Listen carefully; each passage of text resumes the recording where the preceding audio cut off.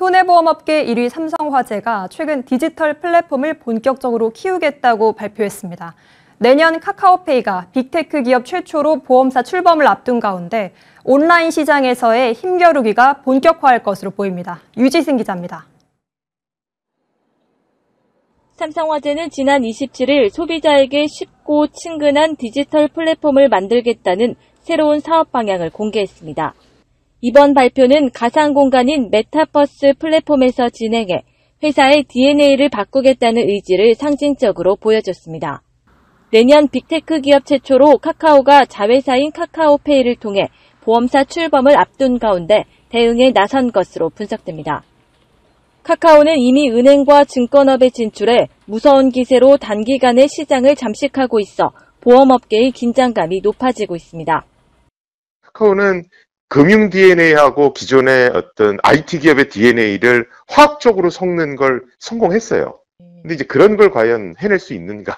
그 플랫폼 만드는 노하우를 과연 얼마나 빨리 깨우치느냐? 거기에 이제 뭐 달렸다라고 봐야죠.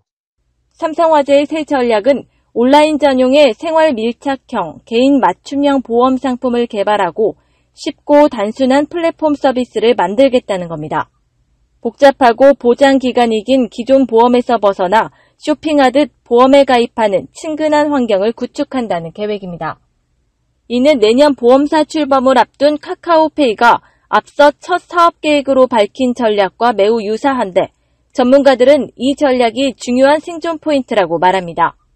파괴적 혁신이면 굉장히 quality가 높고 굉장히 수익성이 높고 굉장히 복잡하고 그렇게 생각을 하는데 그, 그런 게 아니에요. 기존에 있는 보험회사들이 관심을 가지지 않았던 시장을 공략을 하는 거예요.